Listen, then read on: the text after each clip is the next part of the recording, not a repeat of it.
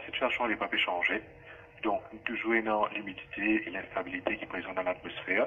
Et ça, dans ces conditions-là, ça peut favoriser un nuage actif à caractère orageux qui peut développer sur l'île. Déjà là, en ce moment, on peut trouver que la partie ouest de l'île, c'est-à-dire euh, du Quatre-Bornes Rosier, en passant par Beau Bassin, tout ça, ça va la région-là, il y a une faute d'orage. Alors, nous dire du public, maintenir tout le conseil pratique qui nous est mentionné de nous communiquer. Et bien sûr, ça va l'orage, ça peut une tendance atténuée au coucher du soleil, car c'est développé par effet de convection. Mais durant la nuit, il y a y avoir d'autres nuages qui vous traversent Maurice par l'est.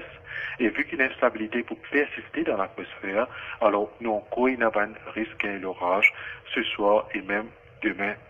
À noter aussi que l'instabilité peut va diminuer dans les jours à venir.